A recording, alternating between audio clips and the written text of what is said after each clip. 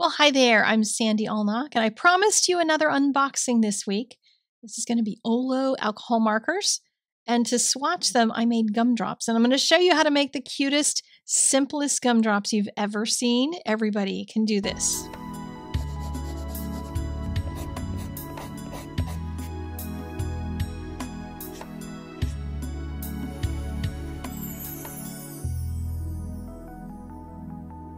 The US distributor for Olo alcohol markers offered me the chance to try some. And rather than pick out markers for me, she said, "Hey, go to the Olo site and pick out 75 bucks worth of stuff." So I did, and it came with a color chart, a, a color wheel, a sticker, and they threw in a pack of paper as an extra. But these markers are what I got for $75. If you're wondering what you get when you purchase some. 75 bucks got me this. And they come with these connectors because you're buying two halves of a marker. It's like a DIY thing.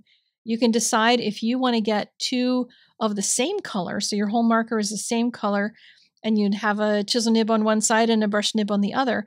I mostly use the brush nib and I didn't really care about the chisel nibs and I wanted more colors to test and play with. So I have double the colors because they're all brush nibs.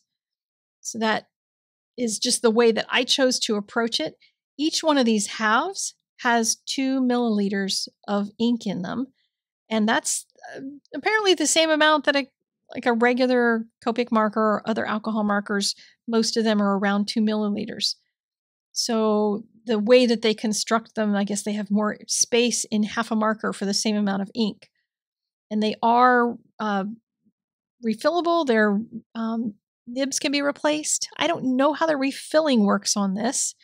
I didn't look into that at all, but if you're interested, you can go to their website. And I know they have tons of videos on all this stuff, but here's how they go together. So you have the connector, you just twist it in there. Very easy to do. There's no ink that's going to leak out on you. So it's also not going to be mixing if you have one color on one side and one color on the other. They're just separate units. And the connector just holds them together so that they're an actual pen. I suppose you could draw with them with just half a marker if you wished, but I would recommend getting a whole pen because it's a little easier on your hand. So they gave me two copies of this swatch sheet. I guess this is the number of colors they have. And the font on it is way too tiny for my old eyeballs, so you'll see my head peek in here as I was leaning down and trying to squint to see what the numbers were. They do have a numbering system. I didn't dig into it.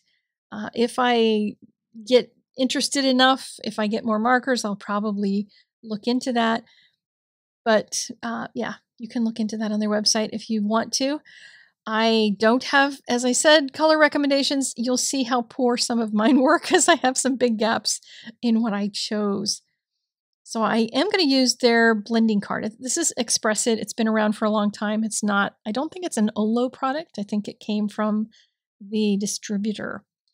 But they know that I am one of those people that uses uh, the Neenah Solar White and wanted me to try this. So I haven't tried this paper in a long time, so I thought, what the heck, I will try it.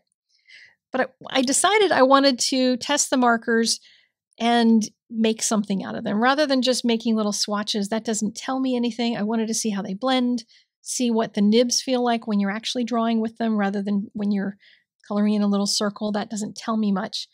So I drew one gumdrop, which is basically a rounded top on it. The bottom part is a little flatter. And then I just made a layout of a bunch of gumdrops in the number of colors that I had, a little bit more so I could make a more interesting layout with some of them turned sideways and some of them vertically. And then I saved the mask after I got this done. You'll see why when we get later in this little drawing. I realized afterward, after I was all finished, that one of the coolest things for this particular technique, if you're making Christmas tags, it would be adorable to make a little Christmas tag with two gumdrops on it. A little red one, a little green one, or matching whatever color wrapping paper you're using.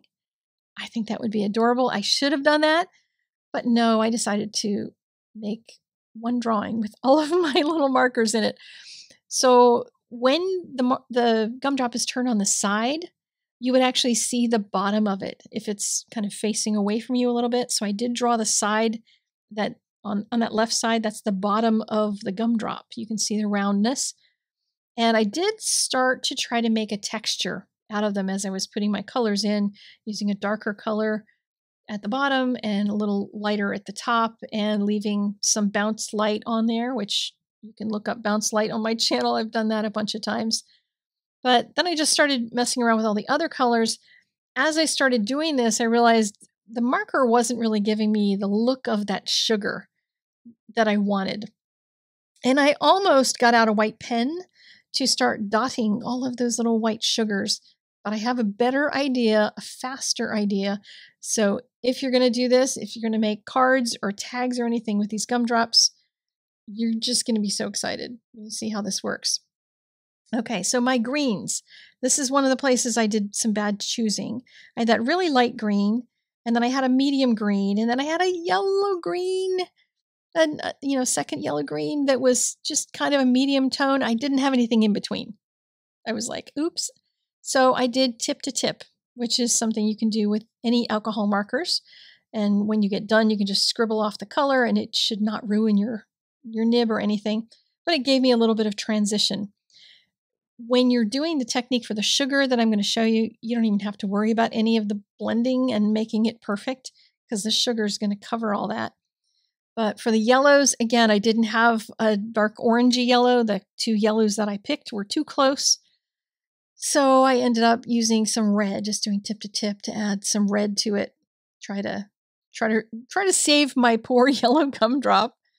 And then added another red one and just continued on. Now, when I started figuring out how many of these gumdrops I was going to do, I was debating whether to use my browns because I do have a dark and a medium brown color. Didn't get a light brown, so I can't do skin tones. But I was realizing, you know, I don't even know if there is such a thing in gumdrop land as chocolate gumdrops.